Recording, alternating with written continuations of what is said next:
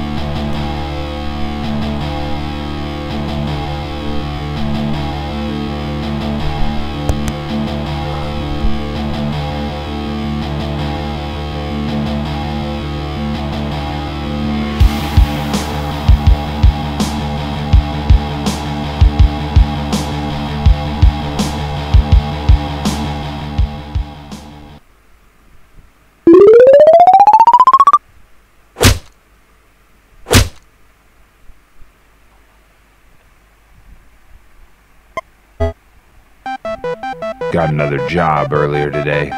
Thought this was gonna be a routine infiltration. Some rich fucker pissed off the mob and was gonna pay the price. Intel says the soon to be dead man was waiting upstairs for me in a lockdown safe room.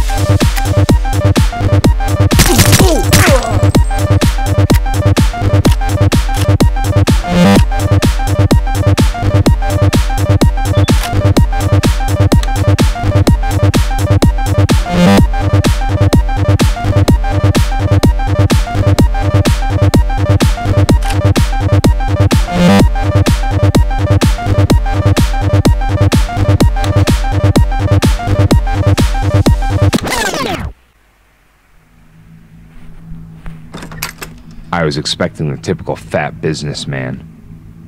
But instead, I had a scared little girl staring down the barrel of my gun. I was willing to do just about anything. Fuck, I killed an 18 year old kid with a pipe wrench. But I draw the line at women and children, and my now ex employer had just gotten two strikes here. The third was lying to me, trying to get me to rashly pull that trigger instead of hiring someone with less of a heart. I knew if we didn't get moving, she'd end up dead, so I took her back to my safe house.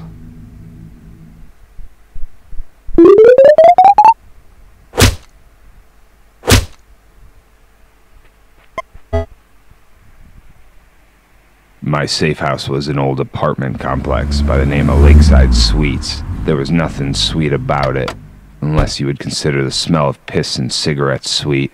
I left her in that room, decided to take a walk to clear my head.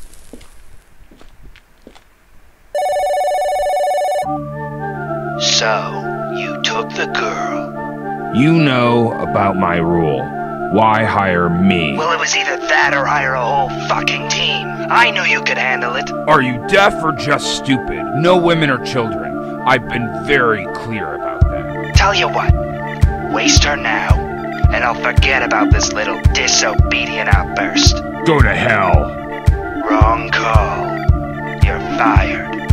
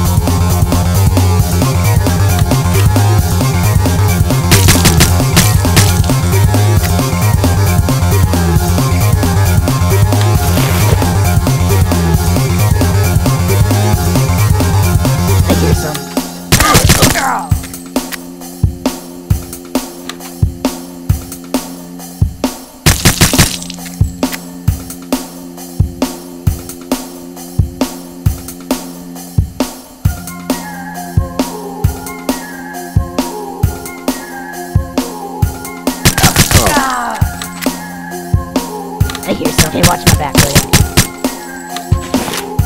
What was that? I'm gonna go look. Yeah, one of you guys fucking. Someone there. I'm looking over here. I'm gonna go look over here.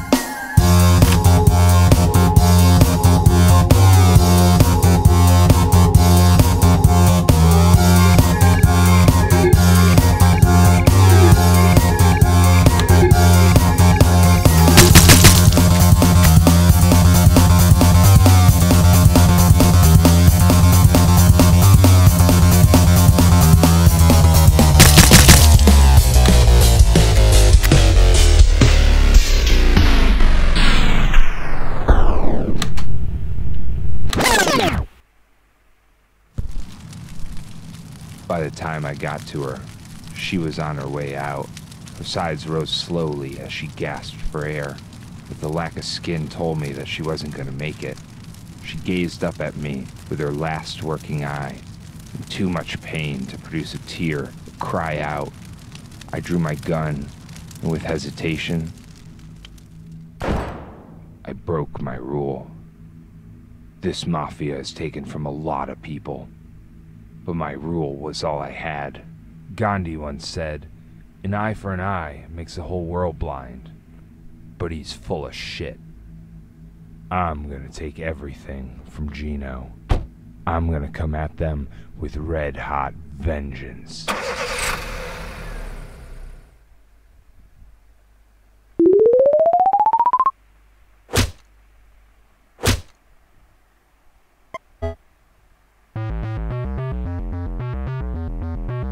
Want to take out a gang, I mean really take it out, you gotta start at the bottom.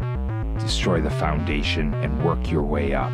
If I take out all their sources of revenue, they can't fund their war against me. And I want Gino to see me slice every limb off this empire his family spent generations building.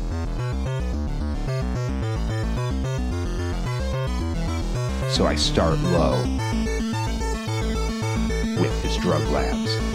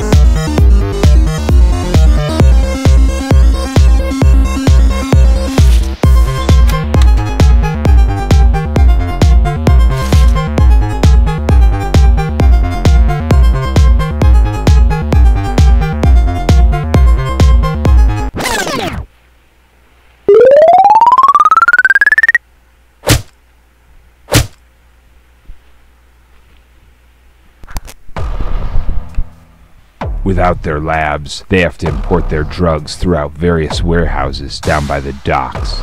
I plan on paying them a visit. I want this message to be heard loud and clear. No one in those warehouses is making it out alive.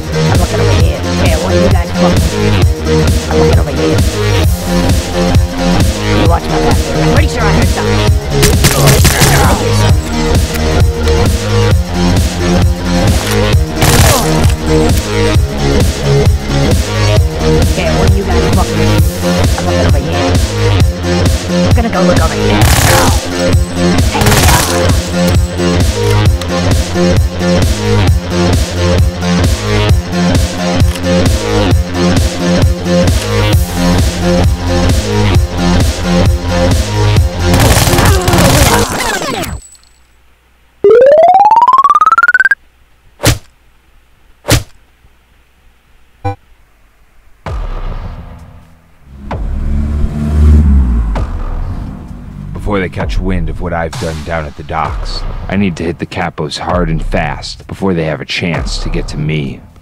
The capos use restaurants to launder their dirty money and each visit their establishments like clockwork. Lucky for me, each of these places are within a few blocks of each other. If I hurry, I can take them all down before they knew what hit them.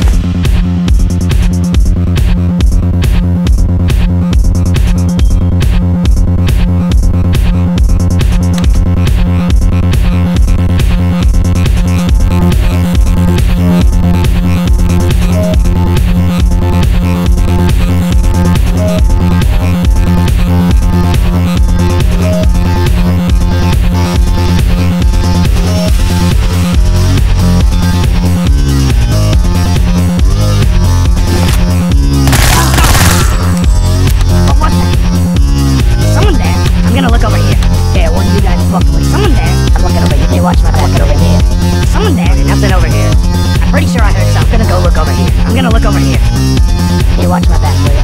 I'm gonna go look over here. Someone there. I'm gonna look over here. Hey, watch my back. I'm looking over here. I'm gonna look over here. I'm gonna go look over here. I'm pretty sure I heard something. I'm gonna look over here. I'm gonna go look over here. Hey, over here.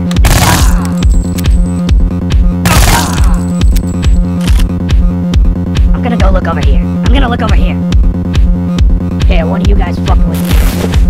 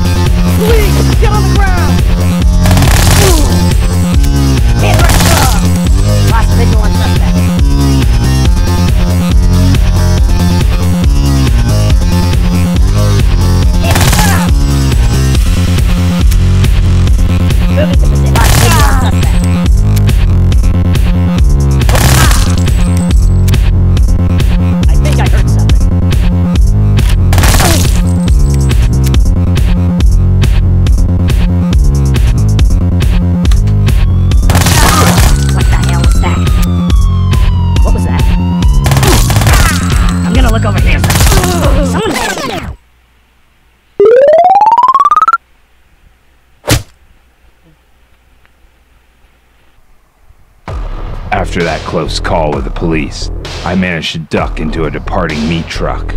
I didn't have to read the decal on the side of the car to know it was Vince's. They call Vince the butcher for a reason, and the stiffs that I found in the back confirmed that. Rumor has it that the mob disposes of its corpses through a meat packing plant. An associate of mine had advised me not to buy their meat. The butcher dies tonight. Oh,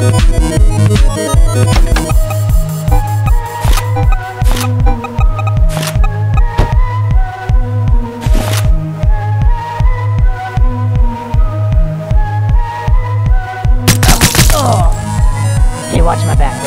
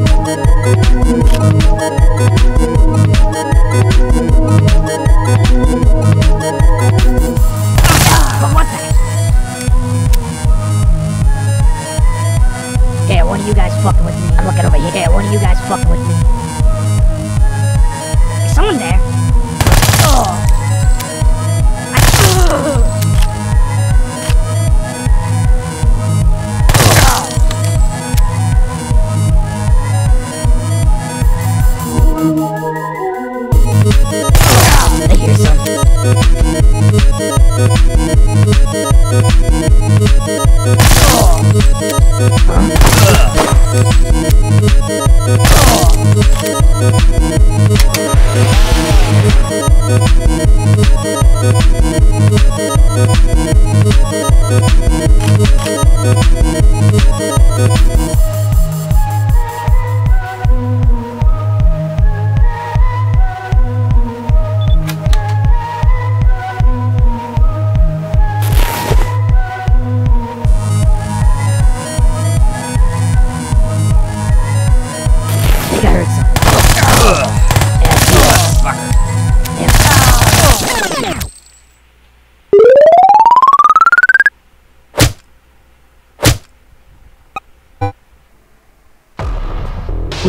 Operation decimated, their capos eliminated, and their corpse disposal shot to shit, it would be rude of me to leave Tommy out of the fun. Those who respect him call him the censor on account of the fact he cuts the tongues out of people he doesn't like. Tommy runs a junkyard just outside town. He uses it as a front to buy, chop, and resell stolen cars. The mob also uses Tommy's junkyard to store their weapons.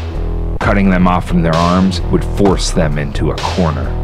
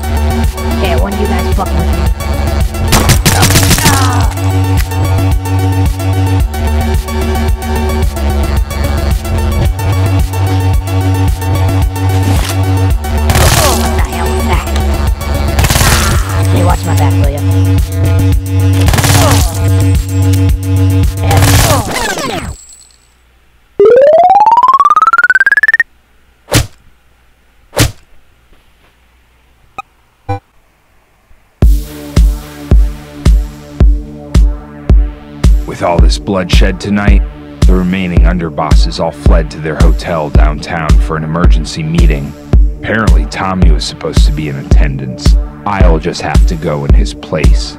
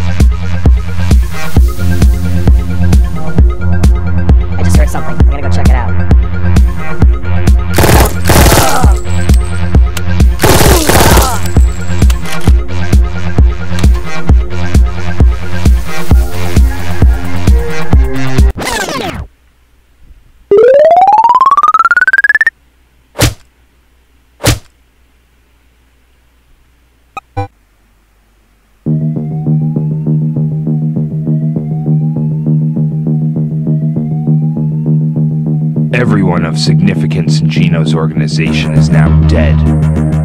Like a scared dog, he fled to the local law enforcement for protection. I knew most of them were in his pockets, but he must have had to make some palms pretty greasy to swing this one.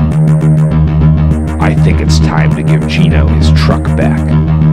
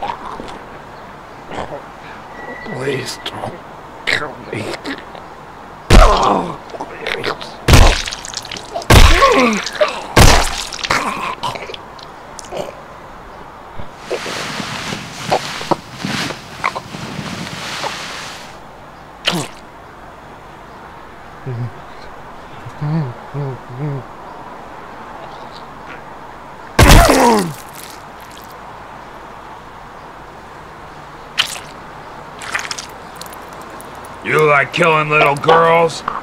I like throwing fuckers off rooftops.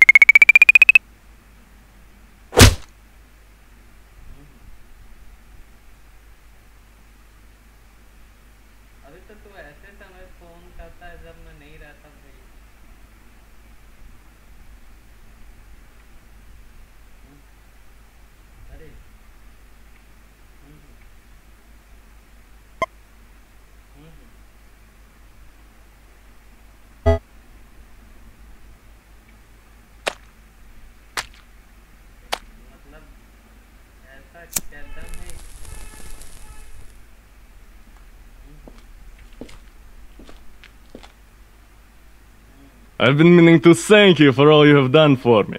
I appreciate the paycheck, but I wasn't gonna let those child killers walk. Child killers? Oh, right, you mean Red! Oh, that was sad, of course, but what is really to be celebrated here? is the eradication of those filthy Italians. This money is only the beginning of our friendship.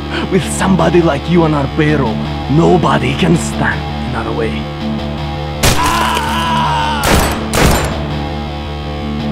I guess I'm not done yet.